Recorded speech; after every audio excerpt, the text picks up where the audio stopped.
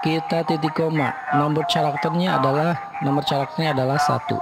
Go, go, go, go, go, go, go, go, go, go, go, go, go. Oke, uh, hari ini kita akan belajar menambahkan koma pada uh, spasi pertama ya.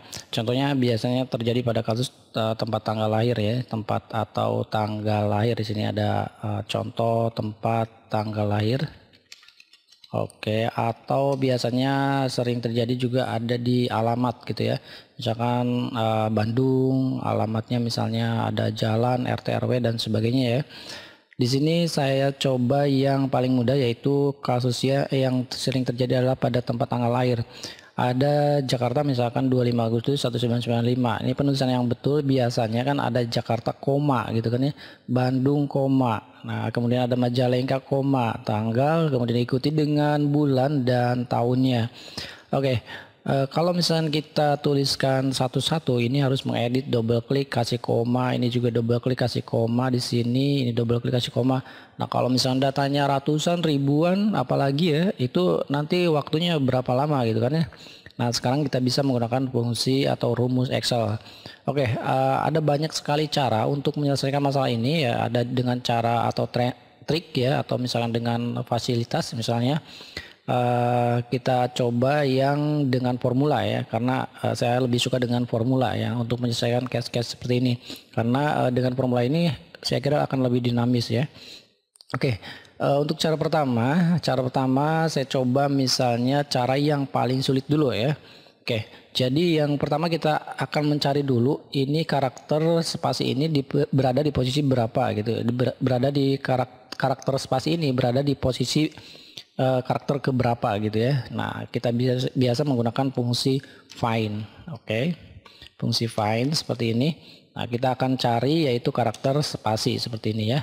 Oke. Okay. Lalu di sini uh, kita titik koma. Sintak berikutnya adalah within text. Within textnya yaitu data yang ini ya. Kita ambil data spasi dari data atau teks yang ada di sel B3 gitu ya. Oke. Nah karena spasinya itu lebih dari satu, di sini kan ada Jakarta spasi 25 spasi. Nah ini kan lebih dari satu, maka posisi start numbernya yaitu posisi ke satu seperti ini. Oke, kalau sudah kita enter saja. Nah berarti hasilnya adalah 8. Kalau kita hitung di sini 1, 2, 3, 4, 5, 6, 7, 8. Jadi karakter spasi itu berada di posisi ke 8. Kayak seperti ini ya. Kalau sudah dapetin kayak gini, kita tambahin aja dengan fungsi lab sini. Lab ya seperti ini lalu uh, ini data yang ini teksnya kemudian number karakternya itu dengan fungsi find kalau sudah kita enter oke okay, muncul kayak gini langsung aja klik yes maka dia akan tertulis Jakarta oke okay. nah kalau sudah dapat kayak gini ini kita tambahkan dengan spasi ya jadi uh, kita tambahkan aja dengan uh, karakter oke okay, karakter karakter di sini pilih n saja akan lebih praktis karakter yang akan ditambahkan yaitu uh, spasi seperti ini. Oke, lalu uh, kita enter. Nah, maka dia akan muncul ya. Oke. Nah, karena di sini Jakarta ini harusnya jangan spasi dulu ya. Jakarta, koma, baru spasi gitu kan. Kalau ini kan spasi dulu. Nah, kasus seperti ini berarti kan 8 ya posisinya ini harus dikurangin satu. Jadi ketika ditemukan karakter spasi ini harus dikurangi satu. Maka di sini bisa dikurangi dengan eh, angka satu. Nah, jadi Jakarta harusnya spasi ini kan berada di posisi baris 8. Kalau dikurangi satu berarti 7. Oke. Nah, ini kan jadi hilang ya. Oke, jadi seperti itu. Jadi uh, Jakarta, koma, langsung nanti spasinya nanti diikuti ya dengan uh, ada tambahan ya. Oke, kalau sudah kayak gini, uh, langkah berikutnya, langkah berikutnya kita akan mencari kata Agustus. Itu kata Agustus itu berada di posisi keberapa ya? Nah, oke, kita tambahkan di sini ya. Kita tambahkan dengan fungsi uh, n lagi. N itu adalah menambahkan karakter, bisa karakter, bisa formula ya.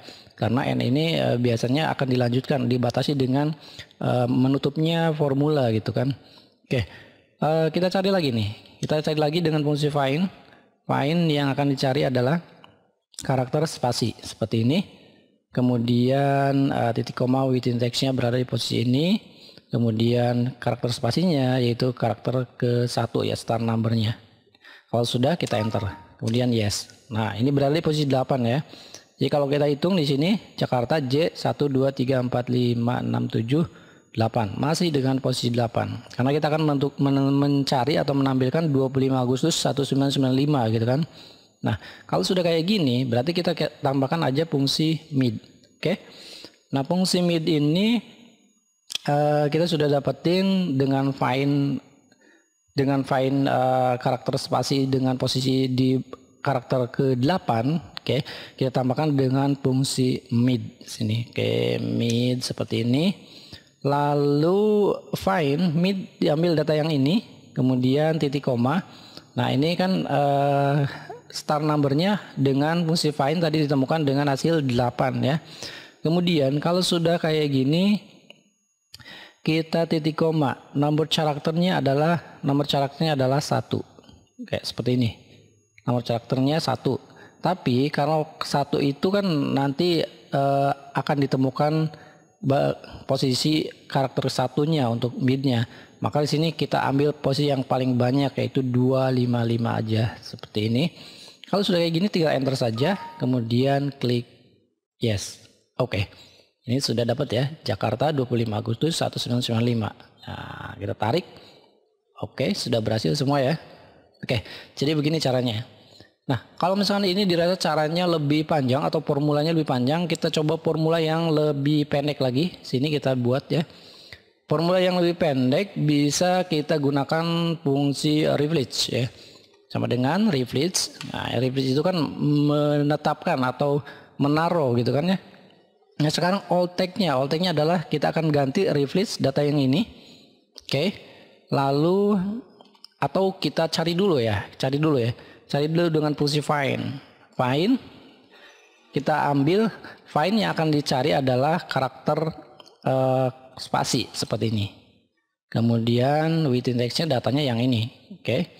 lalu uh, start numbernya start numbernya yaitu posisi ke satu jadi spasinya adalah posisi spasi yang pertama gitu ya karena di sini eh, spasi itu ada yang satu, ada yang kedua, ada yang ketiga gitu ya.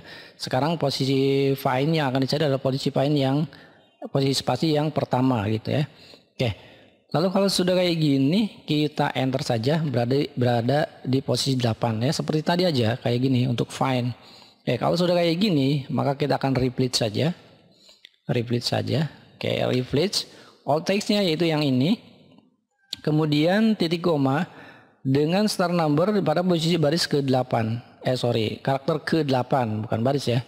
Jadi kita akan ganti Jakarta 25 Agustus 1995 pada posisi baris pada posisi karakter ke-8 ya, start numbernya. Oke. Lalu kalau sudah kayak gini kita ganti dengan jumlah karakter number of karakternya adalah satu. Oke. Lalu titik koma. Nah, new text-nya New text-nya itu adalah karakter yang baru adalah koma. Oke, kemudian spasi. Kemudian tanda petik. Seperti ini. Jadi kita akan cari akan di yang pertama itu data yang ini. Kemudian pada uh, jumlah karakter yang akan digantinya adalah satu karakter. Kemudian karakter yang barunya kita ganti menjadi uh, koma kemudian spasi. Kalau sudah kayak gini tinggal enter saja. Kemudian yes. Oke, ini hasilnya sama ya. Jadi formulanya beda atau caranya beda, tapi ini hasilnya akan sama. Itu ya, seperti itu ya. Nah, kalau kita tarik hasilnya juga sama. Oke. Ini Tegal, ini Tegal, Kuningan, Kuningan 15 April 97. Oke. Kalau ini misalkan caranya lebih panjang lagi ya. Uh, ini lebih panjang, ini agak panjang.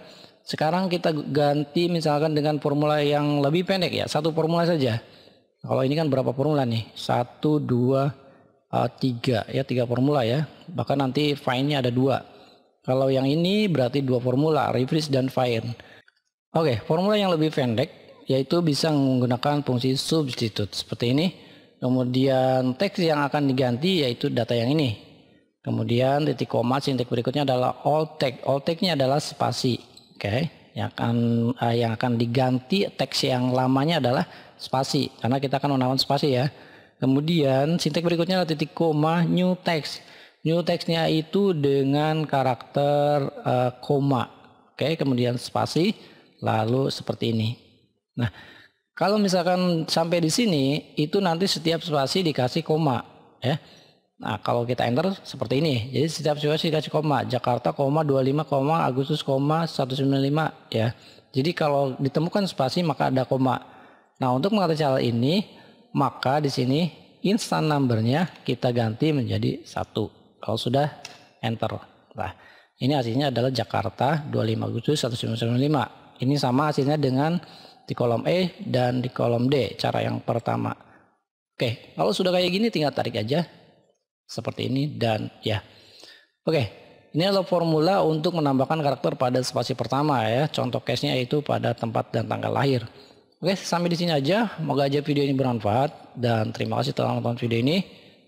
Silahkan di share sebanyak-banyaknya biar teman lain juga bisa merasakan manfaat dari video ini.